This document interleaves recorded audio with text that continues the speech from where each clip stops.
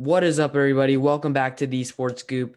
Today, I'm going to be doing my overall draft grades for the NFL draft this season. So, before we get into the video, if you enjoy, make sure to like and subscribe. We do NFL content almost daily. So, if you want to get the latest NFL news, updates, or and or opinions, make sure you hit the like button and subscribe. That way, let's get into the video.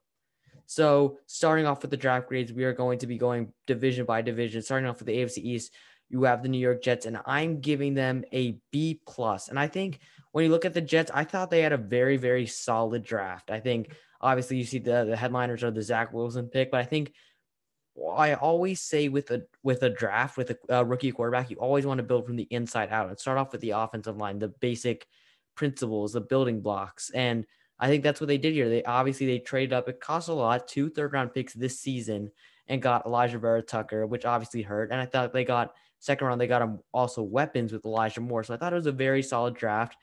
And I think the only reason why they don't get higher is just because of the fact that maybe they again the trade up cost a lot and they weren't maybe able to fill as many positions as they need. But as you can see by the the um, bullet points, they actually still got a lot of picks in there and we're mm-hmm. able to fill a lot of needs. And I think Zach Wilson is going to be in a much better situation than Sam Darnold. I think the Jets really improved their team, which makes it a B plus for me. Now going on to the Miami Dolphins again, B plus. This is going to be a, a trend. I think this is really the case with a lot of NFL teams where they had very, very decent drafts, but there are things to nitpick about them. The Dolphins, as you can see, didn't have as many picks, but I think what the picks that they used, they made the most out of them. Obviously, the sixth pick, they selected Jaylen Waddle. Dylan wasn't a big fan of that. I think it's not a terrible pick, in my opinion. I thought it was a decent pick, and I think it really, with all the weapons they're building around with the draft and in uh, in free agency, it really gives to a, a much better situation in next year to maybe make that second year leap and maybe have has a lot less excuses considering he has a lot of help on the offensive side of the ball. Defensive side of the ball, they also did great. They got, in my opinion, the number one edge rusher in this class in Jaelan Phillips and one of the best safeties in the class in Jevon Holland, one of the best cover safeties. Got an offensive tackle in Liam Eichenberg that is a day one plug and play, which will maybe move Robert Hunt to guard. So I think it was, in my opinion, a very again a very solid draft. Again, I wish maybe they could have, um, again, maybe Waddle wasn't the right pick there. You could have gone DeVonta Smith. Maybe you could have got taken uh, Jeremiah Owusu-Koramoah also there. So they're um, at in the second round. But I still thought it was a very, very solid draft. The Miami Dolphins. Going on to the New England Patriots, third straight B plus. I know, and I mean more of the same. I thought it was a very, very solid draft with um, things that obviously they could have maybe done better. But I thought that overall they did a great job doing uh, going to improve the team. Mac Jones, obviously, you know, at Thee Sports Scoop, we aren't the biggest fans of him, but I think at 15 it was appropriate value compared to what the rest of the league had him at, considering that everyone's saying, oh, who's going to trade up for Mac Jones? Obviously, he's much higher value than the league than by analysts. So, but I think the fact that the Patriots didn't trade up, they just held at 16, saw how the board really played out. And I think, let's be honest, if Mac Jones is going to succeed anywhere, I think it'll be in New England. Christian Barmore um, and uh, Ronnie Perkins, I think there are great additions to the defensive line trying to rebuild that position, which I think Bill Belichick would love to have another very good pass rush. And again, in my opinion, one of the steals of the draft with Cameron McGrone in the fifth round. I think he um, obviously didn't get to play a lot last um, this past year, but I think the year before he really showed on tape that he was maybe one of the better, uh, one of the more underrated, one of the better linebackers, in my opinion, in this class. And to get him in the fifth round is an absolute steal. Not saying he's a plug and play guy, but I feel like he could be um, a very, he could start maybe the season at some point. Don't be surprised if Belichick maybe starts a bit earlier than people expect. So I love the Patriots draft here. Going on to the Bills, not a B plus this one, B minus. I think, and B minus isn't bad. I think it's just man. I think the back to back edge picks aren't bad considering they did have a need. I don't love who they took. I think Rousseau is decent, but by his pro day, you saw that he might have lost a bit of like um I don't know burst. He doesn't have that same burst as players like Ojulari or um obviously Jaelan Phillips and Basham. I like Basham also, but when you go edge in the first the first round, it's also um interesting when you go with the same position in the first two rounds, especially considering when it's a position like edge. I like the pick of Spencer Brown at tackle to help protect Josh Allen. And again, they did a good job stockpiling picks and getting good picks. I think it was an eh draft. It wasn't. I I don't think they improved enough team their team enough to maybe make head waves, and I think maybe contend with team like get close the gap between teams like them and the Chiefs. But I thought it was a not bad draft for me. Now you have the Cincinnati Bengals C plus here, so that was a not great but not terrible draft. I think obviously Ja'Marr Chase. You, I I don't hate hate the pick, but obviously when Joe Burrow tears his ACL, you have to understand that tackle is a need. And as you can see by the list, they did address in the second round with Jackson Carman and later in the fourth round with D'Ante Smith. But like the gap, obviously, I know that this is a very deep tackle class, but the gap between those guys and Penei Sewell is very, very big. And maybe they could have addressed guard a bit more. Maybe they could have gone Creed Humphrey or Landon Dickerson. Maybe. Uh, I, I don't. I don't necessarily love this draft. I don't know why they addressed edge three times. Not consider I know they lost Carl Lawson, but I feel like maybe address offensive side of the ball, especially the uh offensive line maybe could have been addressed a bit more, especially considering maybe the more lack of consideration for that position in free agency. Steelers C here. And honestly, to be honest, I think the re- only reason why they get C is this the high street gets uh, the players that they took in the first two rounds with Najee Harris and Pat Freiermuth because I think they're very good players overall. But my problem with what the Steelers is they just didn't address the key positions enough. I think they did. I know they addressed um offensive line the later picks with Kendrick Green and Dan Moore, but those guys, I could see Kendrick Green. I like him. I think he could be a starter eventually, but I feel like they it needed to be addressed much much earlier, especially considering how we we already seen Pouncey retire, Villanueva. We don't know if he will be back that offense line is going to be a, a, complete overhaul. And I feel like they should have addressed it a lot earlier. Even if I do like players like Najee Harris and Pat Freiermuth, another position that I feel like they really should have addressed was cornerback. They didn't address that till the seventh round with Tre Norwood. And with all due respect to Tre Norwood, he isn't going to be even close to the immediate starter. Who knows if he even starts at all? I is considering, especially considering I I don't know I don't remember the name of the corner. But I think one of their corners also got arrested recently. Considering the fact that you lost Steven Nelson and Mike Hilton, they just didn't do a good enough um do a well enough job of addressing positions of need. So for that reason, C for them. Now you have the Browns A for them. They I think they had an absolute home run of a draft. Greg Newsome in the first round was a great pick. I think 26 is appropriate value for him. He uh, will pair up with players like um, Denzel Ward and Greedy Williams, who was their um, was um, an earlier pick last year for the Browns, but did have to lose um, went after the season. You can what you can see with these first two round picks and with Jeremiah Owusu-Koramoah in the second is that they're completely overhauling that defense both in free agency and the draft. And I feel like the Browns, if you really look at them on paper, they've went from one of the better offenses in the NFL to maybe one of the more well-rounded teams in the NFL. Again, Owusu-Koramoah, we we really didn't know why he slipped to the second round until recently. Uh, we heard that there was a heart condition that he was diagnosed with like before the draft that maybe caused him to fall. However, the doctors have cleared him. So in my opinion, that's why they do get an A in this draft. I like players like Anthony Schwartz and James Hudson to get some more depth. And Tommy Togiai is also a good piece to surround on that defensive line with Clowney and Garrett. So I think A for the Browns here. Now you have the Ravens not far behind A minus. I think they again did some a similarly good job of dressing needs. Rashod Bateman, in my opinion, great value at 27. Keen will tell you all about him. Great route running, good hands, plays bigger than he really actually is. 31, Jayson Oweh, a developmental edge, but I think he could be great if he is developed in the right way. And with the Ravens, with one of the better coaching staffs in the NFL, I don't doubt that he can. I like Ben Cleveland the third. Make sure that you protect Lamar Jackson. Didn't have nearly as good protection that that sorry didn't have nearly as good protection this year as he did last year. So addressing the guard position is important. Maybe could have addressed tackle as well. I like Tylan Wallace also in the fourth. I think that's a steal.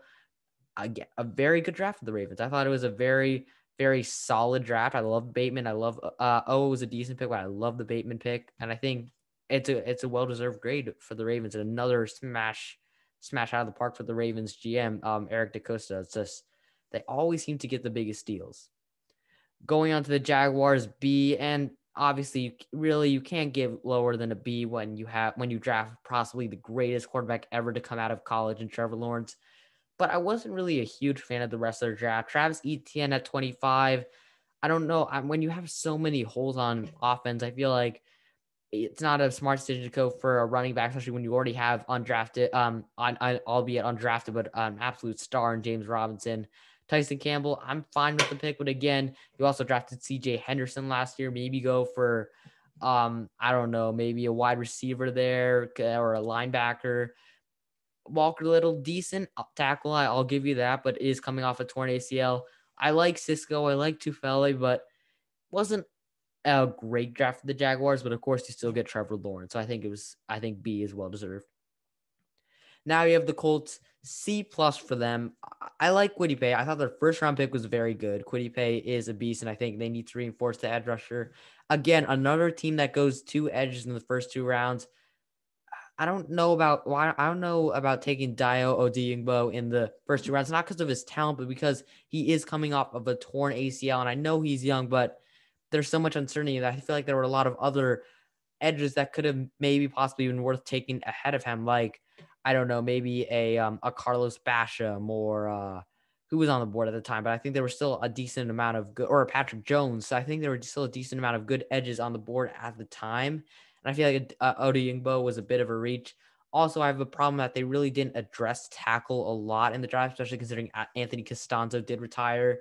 Carson Wentz is coming from a situation in Philly where he clearly wasn't well protected. So I think they need to change that. And I feel like they could have addressed the tackle a bit more.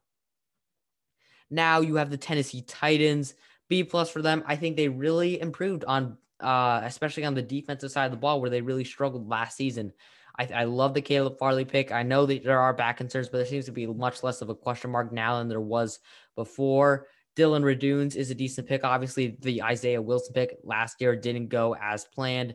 Monty Rice is a very underrated shout at le- at linebacker. I know they did lose players like Vic Beasley. They do uh, they did not pick Rashaan Evans fifth year option up, so I think that's a decent pick. Elijah Molden again addressed sec- um, secondary. I think the Titans did a very decent job of addressing that area of the field. And for that, I think they get a B plus. They're not outstanding picks, but they were all very efficient and well placed. Texans D plus. I mean, I like Nico Collins and Brevin Jordan, but the problem is when you have so few picks, you're not going to get a good grade. That's usually my policy. And the fact that they had to take Davis Mills isn't really a good sign with the Deshaun Watson situation. Obviously, I'm not going to go through all that. It's such a long story, and there's so many um, complications with that. But I feel like Texans, with a team that's so screwed like the Texans, you need so much more picks. And I think they don't have that at the moment. So I think D plus there. Broncos B plus. I like Patrick Surtain. Don't me don't get me wrong, but I feel like when you have already three cornerbacks, um, like Ronald Darby, they signed Ronald Darby, Kyle Fuller, and Bryce Callahan, that are all, in my opinion, very competent, very decent cornerbacks. You could go for other needs, like maybe trading down or getting a linebacker, or even maybe getting Justin Fields. So I didn't think it was the best pick, even though it is good value. Don't get me wrong. I like the Javonte Williams pick at 35, even if you do have Melvin Gordon and Phillip Lindsay.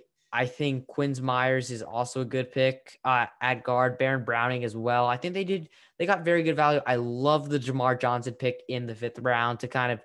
I wouldn't be surprised if like in a year or two maybe he pairs with Justin Simmons in that secondary, considering he was franchise tagged this year. So I I really, I do, I did like the Broncos draft overall. First round pick wasn't great, but I think the rest of it they did very, very well. Have the Chargers A minus there. I think honestly, I I love the Slater pick. Obviously, again, same thing. You have to protect your young quarterback. That is priority number one. I think that's what the Chargers did. They get a steal in Slater. Second round as well, Asante Samuel Jr. Uh, some people pegged him as a first round pick or maybe early second. I think at 47 is a great value for them. Obviously, need to address that aging and a lot of people leaving secondary. So I think that was good. Rest of the draft is fine. I like Josh Palmer out of Tennessee, and I think uh, Nick Niemann is also is a very decent player from Iowa. But I think obviously it was uh, the rest of the draft was okay, but I think because of those first two picks, I think it makes it worth it for A minus. Raiders, I mean, you're not surprised here. This is what it always is C minus. The Raiders always do the most confusing things in the draft, and I don't know why. Honestly could have been lower now that I think about it. And it's not even the Alex Leatherwood pick that I have a problem with. I mean, I do have a problem with, but that's not even the base issue. Why the hell are you drafting three safeties in a single draft? I mean, and don't be wrong, like all of them are good. I like Tre'von Mo. I actually love Tre'von Moehrig. Divine Deablo, he's fast. He's a solid player. I love Tyree Gillespie in the fourth, but why are you taking three safeties when you have so many other needs on the defensive side of the ball? They could have addressed interior defensive line. They could have addressed edge. Could have addressed linebacker a bit more, but I don't know why they go for three safeties. That that's why, in my opinion, they get a C minus. It's just always puzzling with Mayock and Gruden. Chiefs, you have an A minus here. I and I think again, it was just another home run of a draft. I think Nick Bolton at 50 at 58 to address the linebacker core can be step in and be a leader on that defense. Creed Humphrey, I don't know how the hell the Chiefs have just totally rebuilt their offensive line in in one real and one offseason. And also not only that, Trey Smith in the sixth round is an absolute steal. I, he uh, performed very well at the Senior Bowl, and I don't know how he fell to the sixth round. The rest of the picks were decent. I like Cornell Powell from Clemson, but they don't really matter because the Chiefs. I don't know how well they've just rebuilt their offensive line in one offseason, which is just incredible. They've done an amazing job trading picks, um, getting assets in free agency, even with limited cap room, and now um, exploiting a lot of falls in the draft. So I think it was a very, very good draft for the Chiefs. B plus for the Eagles. I, I think, don't get me wrong, I love the DeVonta Smith pick, and I'm not gonna like slate it at all. It's just that the reason why I only gets a B plus, even though a lot of people love the Eagles draft, just because it was more exciting. Like if you trade up and don't take DeVonta Smith, questions are gonna be asked. So I think it's a decent pick there. Landon Dickerson, I like it as well, trying to rebuild that offensive line to what it once was. Obviously, struggled uh, recently. Milton Williams, maybe a bit overvalued. Um, obviously, this interior defensive line class isn't very strong from the beginning, but I I think it's okay. And the rest of the picks, I like Kenneth Gainwell from Memphis. He's decent. I like Tarron Jackson from Coastal Carolina. I like that they're addressing edge, and I think B plus. I thought it was a good draft for the Eagles, but it wasn't incredible. Cowboys B, and really, it's it's so hard to have a good draft when you get royally screwed like the Cowboys did. I mean, they had two targets on the board that they were almost uh, sorry, almost sure that they were going to get with Jaycee Horn, they had Jaycee Horn and they had Patrick Surtain. And when the Panthers took them, like, okay, I mean, maybe did not everyone expected that, but at least the Broncos, I, I doubt they'd take a cornerback considering they had so many needs. But then they do take Patrick Surtain. Now all of a sudden they're in a pickle I think they handled it pretty well. They traded back. They get a player like Micah Parsons. Solid pick for me. Kelvin Joseph in the second. I think he'll be a very solid slot um, corner. Osa Odighizuwa will be very good in stuffing the run. Jabril Cox in the fourth, in my opinion, is a steal as well. I think it was a uh, it was a very solid draft again for the Cowboys. I think wasn't incredible. I think they it wasn't as flashy as last year with selecting CeeDee Lamb, but I think it was efficient. It was efficient. They they tried to fill positions to the need to the best of the ability, and really kind of took what the draft gave them. And obviously, that's not the easiest thing to do. But I think it was a solid draft for the Cowboys. Washington football team B as well. Again, uh, I already was fine with the J- Jamin Davis pick at 19, but now considering why Owusu Koramoah slipped, I like it a bit more.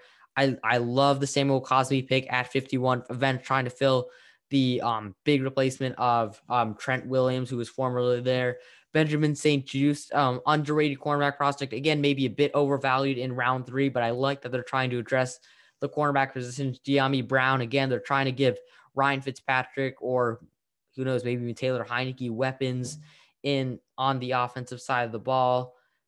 I think again, when you look at this, it's a very, very solid draft for Washington. They uh, were efficient in filling positions of need, and I think that's really all I have to say. It's a decent, decent draft. Going on to the New York Giants, B minus here, which is basically meh. I know I don't really like the Kadarius Toney pick just because of the fact that you have, my opinion, better wide receivers like Elijah Moore, Terrace Marshall, Rashod Bateman that are available. Even if I don't think ter- Toney's a terrible receiver, I think it's a bit overvalued, especially when you have players like I know Owusu Koramoah was with dealing with heart condition, but considering that he was clear, that still could have been the pick. Could have been Kwity Paye as well. Could have been another a different wide receiver. Could have been Marshall or Bateman. I like Ojulari in the second. Aaron Robinson, another pick that I feel like again maybe a bit overvalued. I like Elerson Smith as an edge in the fourth round. I know he's listed as linebacker. Wasn't a terrible draft for the Giants, but I don't think it was anything to write home about.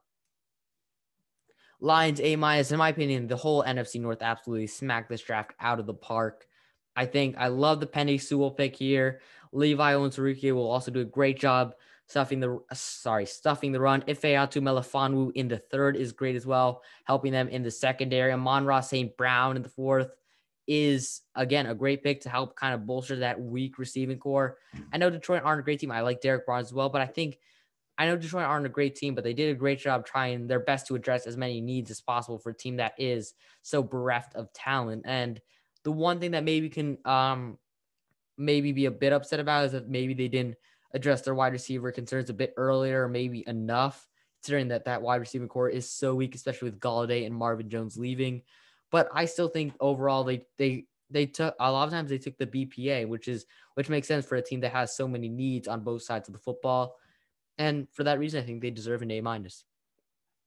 Bears again A minus. They did give up a hefty price to get Justin Fields, but in the end, for me, it was all worth it considering for me, finally, they actually might have a franchise quarterback. And the second round, they also get Teven Jenkins from Oklahoma State. Uh, uh, Oklahoma State again, capitalizing on key position falls, and for that, automatically, uh, key positions falling, and that for that, automatically, you get, you get, in my opinion, at least in the A tier grades. Borom in the fifth is a decent pick. Again, addressing that tackle position, trying to rebuild that offensive line. Dazz Newsome, I like him. I think he could have gone a lot earlier than the sixth round. I think it was a very good draft for the Bears, who, in my opinion, aren't. I mean, not that not that far away from. They are far away from Super Bowl, but they're really they're doing a decent job rebuilding that offense, especially considering that defense still is very good. Vikings, in my opinion, they had the best draft of them all. I think I I I almost gave them an A plus, but I think A is fair. I think they them obviously the whole NFC North, but I think especially them I think they had the best draft here. I mean, first of all, trading back with the Jets to get and still get the guy that you could have gotten at 14 and probably would have wanted at 14 and Christian Darrisaw already a great pick. Taking Kellen Mond in third, which is a great value, in my opinion, for a guy that is a very promising quarterback prospect. And I think could maybe push Kirk Cousins for a job if he does start struggling. And obviously, Kirk Cousins' job isn't exactly completely safe. Chazz Surratt also, I really like his value in the third round, later third round picks. Wyatt Davis, a late again, another later third round pick that will help address the offensive line, which has really struggled for years. He will help um, Dalvin Cook in the running game. Patrick Jones in the third as well. Really, really, really high upside with this guy. Great speed and elite bend. The rest of the draft, I love Janarius Robinson. I like Ihmir Smith-Marsette from Iowa. I think really there aren't really nothing that they you could critique. They took BPA and they also got value that they really needed. And for that reason, I think they had the best draft of all the teams this year. Two years in a row, really, honestly. Packers B plus. Obviously, it was hard as a Packers fan to follow the draft considering the Aaron Rodgers saga that was going on at the same time. But when you look at them, I think they had a solid draft. Obviously, Eric Stokes it's a decent pick. They needed corner, but I feel like maybe there were some better ones available. Josh Myers from Ohio State is, I don't know if he was the best center available at the time, but I feel like still it's very important to draft a replacement for Corey Linsley. Amari Rodgers in the third was, I, I had him. If you watch our underrated players list, I had him as my underrated player. He's, he's a he, um, he has a huge physique. He's like a he's built like a running back, obviously a bit a small, but like He's very, very physical. He's a very good slot receiver. A lot of people comparing him to Randall Cobb. I think he'll be a beast, uh, a beast of a weapon there. The rest of the draft, it's solid. I don't, I don't hate it or love it, but I think it was a solid draft overall, in my opinion. I think it deserves a B plus. Now going on to the Atlanta Falcons, C plus here. It's a similar thing with the Trevor Lawrence situation where you draft one of the best players available. You can't really give too too bad of a grade, and that's why I think with the Kyle Pitts. But I wasn't really a fan sorry, of the rest of the Falcons draft. I mean, for first first of all, taking Richie Grant over Tre'von Moehrig, I'm sorry, but that's inexcusable. Jalen Mayfield in the third, that's solid. I, I, understand that. But the rest of the draft, you look at that and think I, it's decent, but I, I feel like they didn't address positions like edge well enough. I know they got, sorry if I mispronounced this, Atatun, Atato Kunbo Ojun Deji sorry if I mispronounced that. I'm really, really sorry. But they could have really addressed it a lot more than they actually did. And for that reason, I think they get a C plus. Panthers B plus for them. I really, I really like the B. I, I think actually a lot of people are really hating on the uh, Panthers draft, but I thought I really liked it. I think Jaycee Horn at eight is a very good pick. One of the most physical corners in this draft. Has very polished hand technique. Has got decent speed. I think. So yeah, I think he has the uh, potential to be one of the best corners in the NFL in the next couple of years. Terrace Marshall at 59 is an absolute steal. Could have gone easily late first or early second. Brady Christensen in third. Obviously, he protected well for Zach Wilson at BYU. Chuba Hubbard in the fourth. Also, I love that pick. Daviyon Nixon in the fifth. The Panthers really did a great job of addressing needs while getting, again, BPA, which I keep on obsessing over and over. I think it was a very, very solid draft for Carolina. I don't understand why people don't like it. I think, obviously, I mean, obviously, maybe they could have gone a different position at um, round one or uh, early round one, especially with Slater and Darrisaw on the board. But I think, I think it was a very, very good draft for Carolina, in my opinion. Saints C, and again, it's another one of those situations where when you don't have a lot of picks, I can't give you a super high grade. Don't get me wrong, I like Payton Turner, Pete, and Pete Werner. I think a bit, maybe a bit overvalued, but I think I like the Paulson Adebo pick. Ian Book way overreached. I don't know why you take someone like him in the fourth round when you have other positions of need still, especially with the salary cap crunch. I don't know. I think it was a C grade because they had a couple of okay picks, but I think I don't know. I think it wasn't anything special. I think it was a bit below average for me. Bucks B minus meh. I mean, when you're Super Bowl champions, you really don't have much to improve on there, especially with the team that retained all of its starters. I like Joe Tryon. I think he'll be a rotational guy in that Super Bowl lineup. Kyle Trask as well. I mean, no, what? He won't be a rotational guy. I think he's a one for the future, potentially be a quarterback for the future of the Tampa Bay Buccaneers. And I think he's put in the perfect situation. He gets uh, learned behind the greatest quarterback of all time for about 10 years. But uh, I think honestly, the rest of the draft doesn't seem to matter because I don't think any of them will really start, especially considering again they're retaining all their starters. 49ers, we're getting towards the end. B, I like I'm very again, I'm very, very happy they didn't take Mac Jones. I like Trey Lance at three, has a huge arm, these um underrated intelligence.